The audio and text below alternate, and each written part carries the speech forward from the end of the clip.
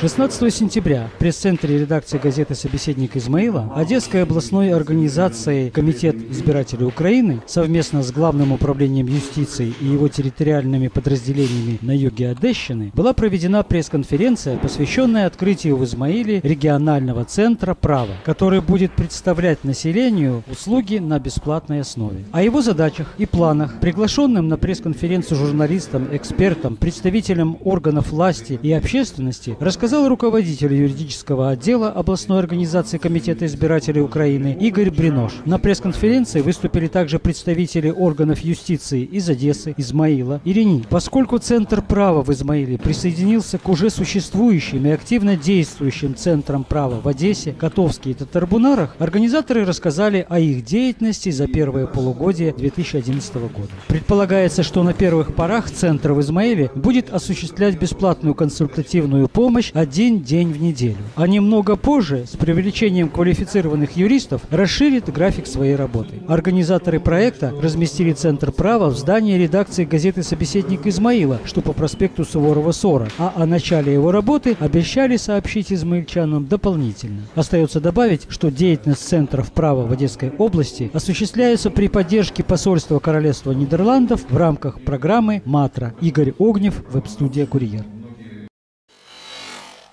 День физической культуры и спорта – праздник особенный. Это праздник здоровых духом и телом людей, тех, для кого движение – это жизнь, а спортивные достижения – предмет особой гордости. Люди, посвятившие себя физическому самосовершенствованию, делают жизнь окружающих всего социума осмысленнее и здоровее. В нынешнем году празднование Дня физической культуры и спорта пришлось на 10 сентября. В преддверии праздника 8 сентября в Большом зале заседаний городского совета торжественно отметили этот день. Поздравляли наших физкультурников и спортсменов заместитель городского головы Лариса Дзиковская и начальник отдела по делам семьи, молодежи и спорта Алексей Морев. И первым наградили самого юного участника праздника Майка Дамаскина, кандидата в мастера спорта, бронзового призера чемпионата Европы по боксу. Грамоты удостоен и тренер Майка, заслуженный тренер Украины, мастер спорта СССР Геннадий Румянцев. Грамотами городского головы и отдела по делам молодежи, семьи и спорта также наградили лучших спортсменов, тренеров, преподавателей городских ДЮ США, руководителей и преподавателей спортивных клубов, президентов городских спортивных спортивных федераций, ветеранов спорта. Затем всех участников торжественного мероприятия пригласили на неофициальную часть праздника – фуршет, где работники спортивной сферы продолжили поздравлять друг друга. Оксана Картельян, веб-студия «Курьер»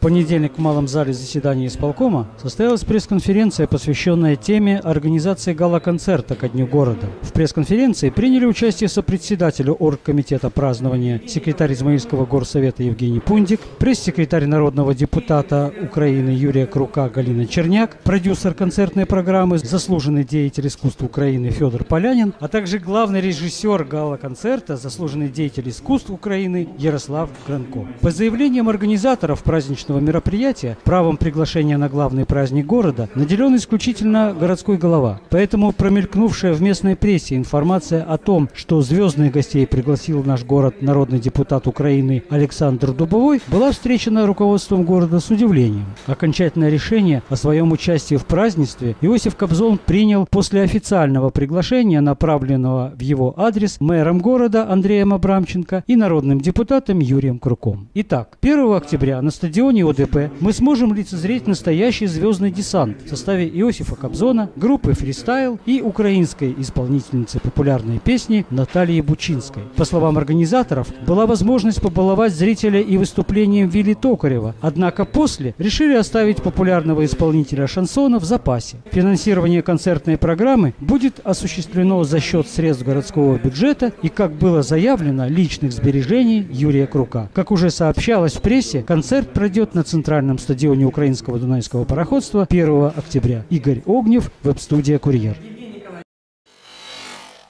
20 лет назад, 11 сентября, не стало на земле талантливейшего человека, а таких говорят поцелованный Богом в макушку, разностороннего и неподражаемого творца, кобзаря, поэта и гражданина Михаила Василюка. Его жизнь оборвалась на высокой ноте, и было ему в ту пору всего 49 лет. Не раз память о Михаиле Дионисевиче в библиотеке имени Катриляревского устраивались вечера встречи, а уж в юбилейный год памяти бессарабского кобзаря собраться сам Бог велел. Однако на вечере, посвященном годовщине гибели Михаила Василюка, почти не было слез. Было много светлых чувств, которые охватывали зрителя, когда звучали прекрасные строки его патриотичных, лиричных, талантливых стихотворений. Стихи читали библиотекари и юные чтицы библиотечного клуба «Данка». Это были и стихи Михаила Василюка, и стихотворения о нем самом. Но главным действующим лицом, точнее лицами, стал народный вокальный ансамбль «Кобзарская дума». Этот ансамбль создал сам Михаил Дионисевич. В ансамбле только женщины, исключая руководителя Ивана Попазова. Поет ансамбль песни Василюка на его слова и музыку, песни на его слова и музыку Попазова. Эти песни – костяк репертуара Кобзарской думы. Прекрасно провела мероприятие, предварительно написав сценарий, заместитель директора библиотеки Алла Димитрова. А в самом конце вечера памяти воспоминаниями о муже и отце поделились самые близкие Василюку люди – вдова поэта Нина Давыдовна и дочери Алена и Иванна. После литературно-музыкальной части мероприятия зрители познакомились с книжной выставкой, на которой были выставлены фотографии из семейного альбома, газетной и журнальной публикации о Михаиле Василюке,